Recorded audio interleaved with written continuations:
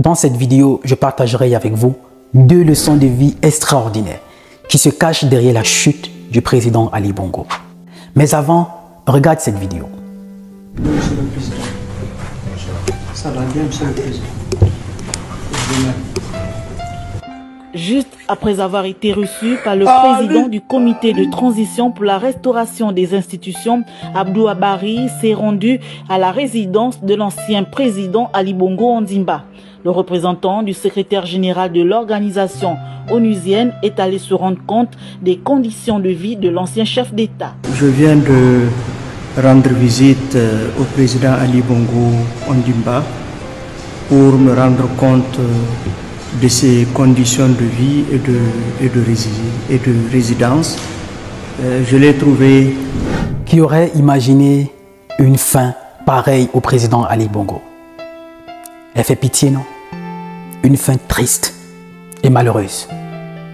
Qui l'aurait imaginé La première leçon de vie que je vais partager avec toi, rien n'est acquis dans ce monde. Rien n'est acquis dans ce monde. Tout bascule. La vie est frappe dure, surtout au moment où tu t'y attends le moins. Rien n'est acquis. Le pauvre peut devenir riche, tout comme le riche peut devenir pauvre. Le patron peut devenir employé, tout comme un employé peut devenir patron. Le procureur, le juge qui envoie les gens en prison, du jour au lendemain peut aussi se retrouver en prison. Tout bascule dans la vie. Qui aurait cru, qui aurait imaginé une telle fin au président Ali Bongo? Regardons un homme diminué, sans protocole autour de lui, dans sa résidence comme nos papas au village, qui se débrouille tout seul à son handicap en train de marcher. Il n'y a personne pour lui tenir la main, personne pour lui donner sa canne. Pourtant, il y a quelques années en arrière, il avait tout un protocole autour de lui, qui lui tenait la canne, qui le soutenait. Il n'y a plus de garde du corps, il n'y a plus de personnel à son service. Personne. Il se retrouve seul. Cet homme tout-puissant va le passer. Parce que rappelons que quelques années en arrière, M. Ali Bongo, c'était ça. Un homme fort, rempli d'énergie, plus de 180 kilos, en forme. Mais regardons M. Ali Bongo à sa chute. Faites une comparaison. Ça fait pitié. Alors rien n'est acquis dans ce monde. Peu importe qui tu es, peu importe ton statut social, surtout pour ceux qui sont au service du peuple, qui s'en servent pour mépriser, humilier, rabaisser, cracher sur le peuple. La fin, elle est toujours tragique. Parce que l'une des choses les plus importantes qu'il faut comprendre, ce n'est pas le début qui compte, mais c'est la façon dont on commence. C'est la façon dont on fait la chose, mais surtout la fin. Regardons la fin du président Ali Bongo. Elle est triste, malheureuse. Dans cette vidéo il est en train de demander de l'aide à ses amis et de faire du bruit. Mais il est conscient, il ne peut pas demander de l'aide au peuple gabonais. Parce qu'il sait ce qu'il a fait subir à ce peuple. Il sait qu'il n'est plus en accord avec ce peuple. Il sait qu'il s'est déconnecté avec ce peuple depuis très longtemps. Et s'est formé tout autour de lui une catégorie d'amis. Et voilà justement ces amis à qui il demande de l'aide. Mais malheureusement sont restés muets, sous et aveugles. Il sait consciemment dans quelle situation il a laissé le peuple gabonais? Il sait consciemment qu'il était déjà déconnecté de son peuple par rapport à toute la misère, la souffrance, à l'oppression qu'il a toujours eu à faire sur ce peuple. La fin, elle est tragique rien n'est acquis dans ce monde. Pourtant, il y a quelques années, le président Ali Bongo, c'était l'homme tout puissant, avec un carnet d'adresses très riche, qui pouvait appeler la Maison Blanche, l'Élysée, le Kremlin, elle pouvait appeler tous les chefs d'État. Mais malheureusement, il s'est retrouvé dans une situation où il ne pouvait appeler personne. C'est servi juste d'un téléphone où il fait une vidéo pour mettre sur les réseaux sociaux. La vie finit toujours par nous mettre à notre place. La vie finit toujours par te faire récolter ce que tu as sémé. L'une des choses les plus importantes que le chef d'État devait comprendre, que les personnes qui ne trahissent jamais, les personnes qui sont toujours loyales, c'est le peuple. Alors il gagnerait à être allié du peuple, à faire la volonté du peuple, de les oppresser, les museler, les emprisonner. Voilà le président Ali Bongo, vu son état de santé, les nouvelles autorités l'ont donné la liberté d'aller se faire soigner. Contrairement à lui, sous son mandat, sous son règne, a mis des gens en prison qui n'avaient pas le droit d'aller se faire soigner à l'étranger. Mais lui, on l'a accordé cette liberté qui comprenne combien de fois il n'a pas toujours été honnête, il n'a pas toujours traité les Gabonais de la façon dont il fallait. Rappelons-nous, pendant la période électorale, Internet a été coupé au Gabon. Mais justement, une fois lui, il était en résidence surveillée.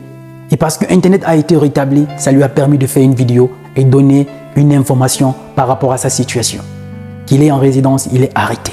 La vie finit toujours par nous mettre à notre place. Je ne connais pas quel est ton statut social. Je ne connais pas quelle est ta situation. Mais de grâce, peu importe ton poste, peu importe ton statut social, peu importe qui tu es, ne t'en sers pas pour mépriser tes semblables, pour les humilier, pour les rabaisser. Non. Parce que personne ne souhaite avoir une fin comme cette fin du président Ali Bongo, qui est triste, malheureuse. Il devient même la risée du monde. Tout bascule dans la vie. Ne te sers pas de ta position pour humilier cette personne, pour la rabaisser, pour lui manquer de respect, pour lui cracher dessus, pour montrer combien de fois tu es puissant, pour montrer combien de fois tu es au-dessus de tout le monde. Non, rien ne dure éternellement. Et la deuxième leçon de vie que je vais partager avec toi qui se cache derrière la chute du président Ali Bongo, c'est dans les moments difficiles que tu sauras qui sont tes vrais amis. C'est dans les moments de souffrance que tu sauras qui sont réellement ceux qui tiennent à toi. Justement, dans ces moments, le président Ali Bongo, il est seul. Il est abandonné à lui-même. Aucun ami. Regardons comment le représentant des Nations Unies va le rendre service, comment il se retrouve. Ça se lit sur son visage. Même quand il faisait cette vidéo pour demander à ses amis de faire du bruit, ça se lit sur son visage.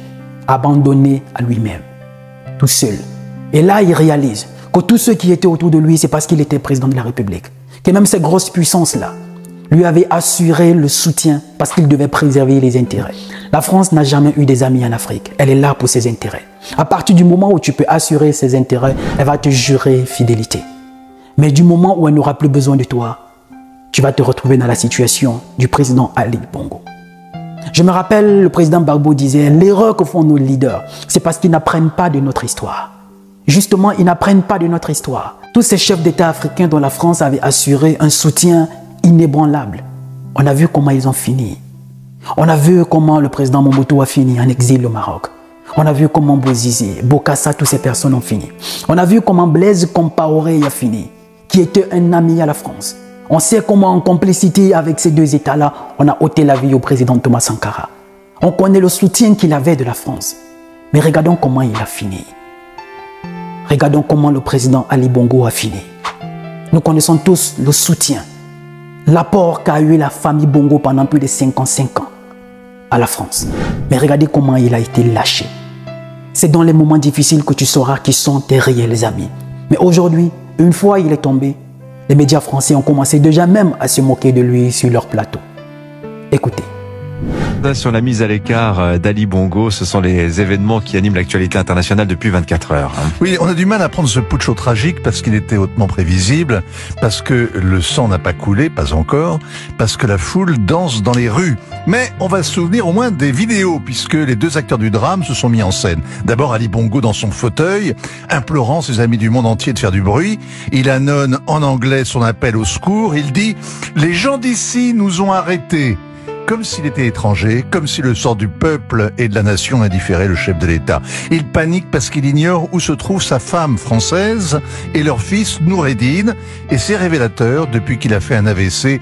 Ces deux-là ont pris beaucoup d'ascendant et c'est pour leur barrer la route que les centurions ont pris le pouvoir. En tout cas, l'appel à faire du bruit d'Ali Bongo est d'autant plus pathétique qu'un silence gêné lui répond. Oui, le monde entier. Ça. L'appel à faire du bruit du président Ali Bongo est pathétique qu'un silence gênant lui répond. La France, pour qui, je rappelle, le président Emmanuel Macron, en mars dernier, était à Libreville pour assurer la continuité des contrats dans la préservation des intérêts de la France. En mars dernier, le président Macron était à Libreville, où l'amitié entre les deux était au très bon point.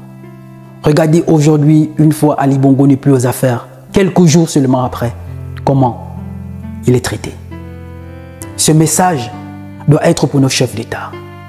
Pour ces chefs d'État qui aujourd'hui, en complicité avec ces forces occidentales, veulent à tout prix incendier le Niger, qui décide tout simplement d'avoir sa liberté. Le président du Sénégal, de la Côte d'Ivoire, du Bénin, parce que le président du Nigeria, ça finit par se retirer.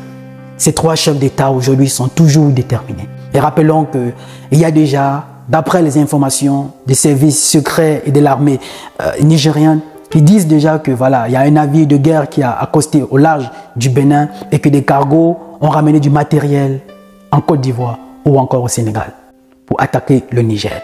Il faut bien que ces présidents comprennent. Ils n'ont pas une solidité, une complicité avec la France, comme a eu la famille Bongo pendant plus de 55 ans. Ils n'ont pas une solide connexion avec l'Occident, comme a eu Mobutu, comme a eu Bokassa, comme a eu Blaise Compaoré. Mais nous tous, nous connaissons comment a été leur fin. Alors ceci doit tous les interpeller. Parce qu'à partir du moment où ils vont commencer à raisonner, ils vont commencer à s'opposer à la volonté de la France, ils termineront de la même façon. Déjà, le président Ouattara lui-même, il est conscient, très conscient, qu'à partir du moment où il ne fera pas la volonté de la France, il sera responsable des 3000 morts qui l'ont ramené au pouvoir. Parce que le président Barbeau, une fois transféré à la CPI pendant plus de 10 ans, a été acquitté. Donc la seule personne qui peut être responsable de ces 3000 morts, c'est au cas où il ne fait pas la volonté de la France, donc pris entre griffes en otage. Mais il est encore temps de s'allier au peuple. Parce que le peuple ne trahit jamais. Le peuple a toujours été loyal. Ce qui fait aujourd'hui la réussite du Burkina, du Mali, du Niger. Le peuple est derrière l'armée. Le peuple est debout. Le peuple ne trahit jamais. Alors il faut bien que nos leaders comprennent que c'est dans les moments difficiles que vous comprendrez que ceux qui vous assurent aujourd'hui être vos alliés, être vos soutiens, vont disparaître. Et les nouvelles personnes avec qui ils trouveront de l'intérêt, ils vont s'allier. Ils n'ont jamais eu des amis. Ils sont juste là pour la préservation des intérêts. C'est dans les moments difficiles que tu sauras quels sont ceux qui t'aiment, qui pensent à toi. Pour te rappeler ça, je vais te prendre un exemple de la Bible. Jacob qui voulait épouser Rachel. Le deal était qu'il devait travailler sept ans. Mais après avoir travaillé sept ans, on l'a dupé. On lui a donné la grande sœur Léa à la place de Rachel. Parce que dans cette famille, la, petite sœur ne pouvait pas aller en mariage avant la grande sœur. Et on lui a dit, si tu veux réellement épouser Rachel, tu dois encore travailler sept ans de plus. Il a accepté de travailler sept ans de plus. Savez-vous pourquoi? Ce n'est pas parce qu'il aimait Rachel. Il tenait à elle. Alors que ceux qui tiennent à toi seront toujours là dans les moments difficiles. Et les seules personnes qui peuvent être là dans les moments difficiles, c'est le peuple. Mais généralement, nos leaders, une fois arrivés au pouvoir, c'est de connecter du peuple. Se mettre autour d'une catégorie de personnes qu'ils appellent les amis, croyant qu'ils seront toujours là. Mais non, une fois qu'ils n'auront plus leur intérêt, une fois qu'ils n'auront plus cet avantage, une fois que tu seras tombé, tous disparaîtront. Voilà la preuve. Une fois le président Ali Bongo tombé, voilà ce que la France dit de lui. Et les jours qui ont suivi, ils ont commencé avec des émissions bien mal acquis, les détournements sur sa fortune. Pourtant, quand le président Macron arrivait à Libreville, personne ne parlait de la fortune détournée du président Bongo. C'était des amis solides. Aujourd'hui qu'il n'est plus aux affaires, il faut tout faire pour le discréditer et gagner la confiance des nouvelles autorités. Voilà leur politique. Et ceci devait interpeller tous nos chefs d'État, tous nos leaders. C'est le moment de gagner à être en accord avec son peuple. C'est dans les moments difficiles que tu sauras qui sont tes vrais amis. C'est les deux leçons de vie que je voulais partager avec toi qui se cachent derrière la chute tragique du président Ali Bongo. Personne n'aurait imaginé une fin pareille. Mais la seule chose dont je peux être sûr, c'est que tout ce qu'on fait subir à son peuple, tôt ou tard, on finit par le payer. Alors dis-moi ce que tu en penses. Je te prie tout simplement, si tu as aimé cette vidéo, abonne-toi. Laisse-moi ton pouce bleu, mais partage cette vidéo autour de toi. Je suis Roland Campbell, ton frère. Merci.